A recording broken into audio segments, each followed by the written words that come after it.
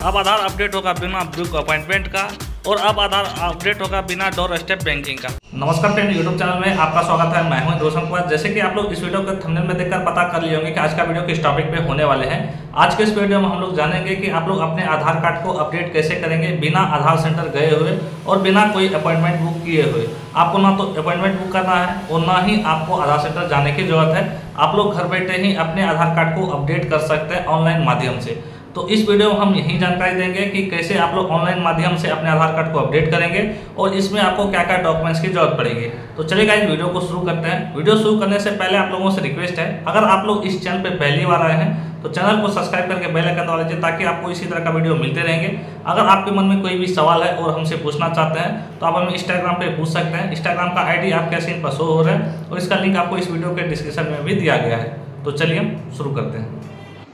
आधार update करने के लिए हम नहीं तो बुक अपॉइंटमेंट के बारे में बताएँगे, क्योंकि बुक अपॉइंटमेंट के द्वारा अगर आप लोग यहाँ पे एक अपॉइंटमेंट लेते हैं तो आपको आधार सेंटर जाना पड़ता है और ना ही हम डूर स्टेप बैंकिंग के बारे में बताएँगे, क्योंकि डूर स्टेप बैंकिंग के द्वारा अगर आप लोग आधार अपडेट करते हैं तो आपको यहाँ पर एक टोकन जनरेट होते हैं। टोकन जनरेट होने के बाद आपके घर पे इंडिया पोस्ट का जो पोस्टमैन होता है, वो घर पे आके आपका आधार अपडेट करते हैं। तो इसके बारे में भी हम नहीं बताएँगे और हम इस वीडियो में स्टेप बाय स्टेप बताएँगे कि कैसे आप लोग ऑनलाइन अपडेट करेंगे आधार कार्ड। तो सबसे पहले आपको गूगल क्रोम ओपन कर लेना है। गूगल क्रोम ओपन करने के बाद गूगल पे आपको सर्च करना है यूआईडी जैसे ही आप लोग यूआईडी सर्च करेंगे तो यूआईडी का ऑफिशियल वेबसाइट सबसे ऊपर में आपको मिल जाएँगे। इस पर आपको क्लिक करना है।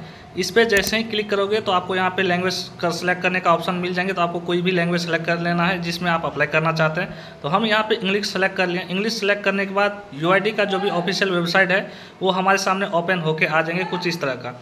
तो सिंपली आपको यहाँ पे बहुत सारे बैनर देखने को मिल रहे हैं। तो आपको यहाँ पे एक बैनर मिल जाएँगे my Aadhaar dot U I D dot G O V dot in. इस पर आपको क्लिक करना है।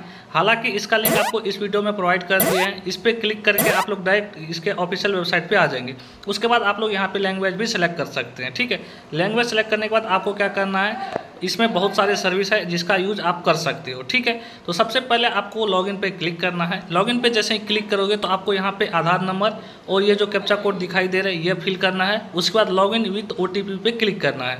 तो चलिए हम यहाँ पे अपना आधार नंबर और कैप्चा कोड फिल करते हैं। उसके बाद हम यहाँ पे लॉगिन विथ ओ पे क्लिक करके यहाँ पे लॉगिन करेंगे। लॉगिन करने के लिए हमारे आधार कार्ड में रजिस्टर्ड मोबाइल नंबर होना ज़रूरी है, क्योंकि लॉगिन विथ ओ पे जैसे ही हम क्लिक करेंगे तो हमारे रजिस्टर मोबाइल में एक ओटीपी आएँगे, वो ओटीपी हमको यहाँ पे फिल करना है। अगर आपके आधार कार्ड में लिंक नहीं है मोबाइल नंबर तो इस वीडियो को आप लोग पूरा देखिएगा। तो हम यहाँ पे ओ फिल कर लिए हैं, उसके बाद लॉगिन पे क्लिक कर लिए हैं। लॉगिन पे क्लिक करने के बाद आपको बहुत सारे सर्विस आपको देखने को मिल जाएँगे। तो सिंपली आपको क्या करना है, आधार एड्रेस अपडेट जो है, इस पर आपको क्लिक करना है। एड्रेस अपडेट पर जैसे ही क्लिक करेंगे तो आपके सामने यहाँ पर दो ऑप्शन मिलेंगे। अपडेट आधार ऑनलाइन का और एक मिल जाएँगे एच ओ एफ़ यानी हेड ऑफ़ फैमिली अपडेट का, ठीक है? तो अगर आप लोग हेड ऑफ़ फैमिली के द्वारा अपडेट करना चाहते हैं तो इस पर क्लिक करेंगे। अगर आप लोग अपडेट आधार ऑनलाइन के माध्यम से, यानी कि अगर आप लोग डॉक्यूमेंट्स लगा के अपने आधार कार्ड को अपडेट करना चाहते हैं तो इस पर क्लिक करेंगे। तो हम यहाँ पे क्लिक कर लिए हैं। उसके बाद प्रोसीड टू योर आधार पे क्लिक करेंगे। उसके बाद यहाँ पे ऑटोमेटिक सेलेक्ट रहेगा ही। आपको प्रोसीड टू अपडेट आधार पर क्लिक करना है, ठीक है? इस पर जैसे ही क्लिक करोगे तो आपके सामने कुछ इस तरह का इंटरफेस देखने को मिल जाएँगे। आपके आधार कार्ड में जो भी डिटेल्स है, वो आपके सामने ओपन होके आ जाएँगे। अब नीचे में डिटेल्स टू बी अपडेट का ऑप्शन मिल रहा है, ठीक है? डिटेल्स टू बी अपडेट में आपको क्या करना है, यहाँ पर जो फॉर्म मिल रहे हैं, इस फॉर्म को फिल करना है, ठीक है? तो ये फॉर्म को आपको सही सही फिल करना है। तो चलिए हम बताते हैं कि ये फॉर्म को आप लोग कैसे फिल करेंगे। सबसे पहले है केयर ऑफ़ केयर ऑफ़ में अगर आप लोग मेल हैं तो आप पिताजी का नाम भरेंगे। अगर आप लोग फीमेल है तो फीमेल में दो केस आते हैं। एक फादर्स का नाम और एक हस्बैंड का नाम। तो जिसका आप रखना चाहते हैं, उसका नाम यहाँ पे फिल करेंगे। फीमेल है तो फादर्स या हस्बैंड का जिसका नाम रखना चाहते हैं, वो फिल करेंगे जो डॉक्यूमेंट्स पे उसके बाद नीचे पे क्लिक करेंगे तो हिंदी में ऑटोमेटिक ही आ जाएगा। पहले आपको इंग्लिश में लिखना है। जैसे ही आप लोग नीचे में क्लिक करोगे तो आपका हिंदी में ऑटोमेटिक आ जाएगा। देखिए हम लिख रहे हैं तो हमारा यहाँ पर आ रहा है। उसके बाद विलेज का नाम भरना है। उसके बाद स्टेट रोड लाइन है, वो आपको यहाँ पे भरना है। यानी कि विलेज का नाम भी भर देंगे। आज जो भी स्टेट है रोड है लाइन है, वो आपको यहाँ पे फिल करना है। और हिंदी में ऑटोमेटिक आ रहा है। उसके बाद एरिया लोकल सेक्टर है। अगर गाँव से है तो यहाँ पे आप लोग वार्ड नंबर फिल कर सकते हो। अगर गाँव से नहीं हो, शहर से हो तो आप लोग यहाँ पे सेक्टर एरिया और लोकेलिटी आप लोग यहाँ पे फिल करोगे, ठीक है? तो ये फिल कर दिए हैं। जैसे हम नीचे में क्लिक करेंगे तो ये हिंदी में ऑटोमेटिक आ जाएगा, ठीक है? उसके बाद लैंडमार्क है। लैंडमार्क भी आप यहाँ पे भर सकते हो। लैंडमार्क में स्कूल या मंदिर, जो भी आपके नज़दीक में है, चिन्ह कोई वो दे सकते हो, ठीक है? तो हम यहाँ पे स्कूल दे दिए मेरे केस में स्कूल है। उसके बाद यहाँ पे पिन कोड फिल करना होगा। पिन कोड जैसे ही फिल करेंगे तो ये आपको यहाँ पे ऑटोमेटिक स्टेट का नाम सेलेक्ट हो जाएगा डिस्ट्रिक्ट का नाम सेलेक्ट हो जाएगा, ठीक है? उसके बाद विलेज टाउन सिटी आपको यहाँ पे देखना है। जो भी आपका विलेज है, वो आप लोग लिस्ट के द्वारा सेलेक्ट कर लेंगे। तो चलिए हम यहाँ पे लिस्ट के द्वारा अपना विलेज सेलेक्ट कर लेते हैं। विलेज सेलेक्ट करने के बाद आपको यहाँ पे मैनुअल अपडेट का ऑप्शन जो मिल रहा है, इस पर आपको क्लिक करना है। उसके बाद आपको यहाँ पे मिल जाएँगे सेलेक्ट वैलिड सपोर्टेड डॉक्यूमेंट्स आपको यहाँ पे बहुत सारे डॉक्यूमेंट्स देखने को मिल रहे हैं। तो इसमें से कोई आपको एक डॉक्यूमेंट सेलेक्ट करना है। क्योंकि यहाँ पे आप पासबुक भी लगा सकते हैं पासपोर्ट भी लगा सकते हैं इंडियन पासपोर्ट जो है, वो भी लगा सकते हैं बैंक अकाउंट का स्टेटमेंट लगा सकते हैं, जहाँ पर आपका फुल एड्रेस है। ठीक है, यहाँ पे आप अगर लिस्ट में देखेंगे तो बहुत सारे डॉक्यूमेंट्स आपको अवेलेबल देखने को मिल जाएँगे, ठीक है? तो इसमें से कोई एक डॉक्यूमेंट्स का आप यूज़ कर सकते हैं। जो आपके पास डॉक्यूमेंट्स है, वो आप यहाँ पे सेलेक्ट करेंगे, ठीक है? यहाँ पे S T S C O B C certificate का भी ऑप्शन मिल रहा है, ठीक है?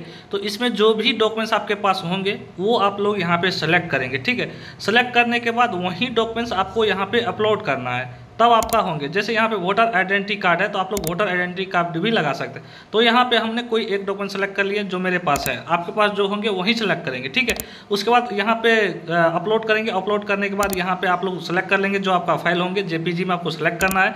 सेलेक्ट करने के बाद नेक्स्ट पे क्लिक करेंगे। जैसे ही नेक्स्ट पे क्लिक करेंगे तो आपने जो भी अपडेट किए हैं वो आपको देखने को मिल जाएँगे। उसके बाद टर्म एंड कंडीशन आपको यहाँ पे नीचे में देखने को मिल रहे हैं। तो इस पर आप अगर क्लिक करते हैं तो आप यहाँ पे नेक्स्ट करेंगे, ठीक है? नेक्स्ट करने से पहले आप लोग यहाँ पे एडिट का ऑप्शन जो मिल रहा है, इस पर क्लिक करके आप जो यहाँ पे फॉर्म फिल किए हैं, अगर इसमें कोई गलती लग रहा है तो एडिट पे क्लिक करके आप लोग इसे एडिट कर सकते हो। क्योंकि यहाँ पे गड़बड़ भी तो हो सकता है कोई वर्ड तो आप लोग यहाँ पे एडिट कर सकते हो और डॉक्यूमेंट्स देख सकते हो। तो इतना कुछ आप कर सकते हो। तो आपको एडिट करना है तो एडिट वाला ऑप्शन पे क्लिक करेंगे। अन्यथा यहाँ पे टर्म एंड कंडीशन पे क्लिक करेंगे और नेक्स्ट पे क्लिक करेंगे।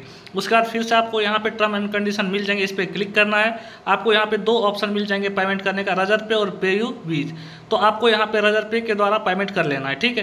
तो यहाँ पे आपको पचास रुपया का पेमेंट करना होगा। उसके बाद क्लिक करेंगे मैक पेमेंट पे क्लिक करेंगे। जैसे मैक पेमेंट पे क्लिक करेंगे तो आपका यहाँ पे क्यूआर कोड जनरेट हो जाएँगे। क्यू आर कोड जनरेट होने के बाद आप लोग किसी भी एप्लीकेशन से जिससे पेमेंट होता है, चाहे फ़ोन पे गूगल पे पेटीएम जिससे भी हो, आप यहाँ पे पेमेंट कर सकते हैं। जैसे ही पेमेंट करेंगे तो आपका यहाँ पे रिसीविंग डाउनलोड हो जाएगा। रिसीविंग डाउनलोड होने के बाद पाँच से सात दिन में आपका आधार अपडेट हो जाएँगे और यहाँ से आप लोग सिर्फ़ आधार कार्ड में एड्रेस अपडेट कर सकते हैं। अगर आप यहाँ पर दूसरा कुछ अपडेट करना चाहते हैं, जैसे आप अपने आधार कार्ड में मोबाइल नंबर लिंक करना चाहते हैं तो आपको आधार सेंटर जाने की ज़रूरत पड़ेगी, क्योंकि अभी यूआईडी से सिर्फ़ एड्रेस अपडेट हो रहे हैं।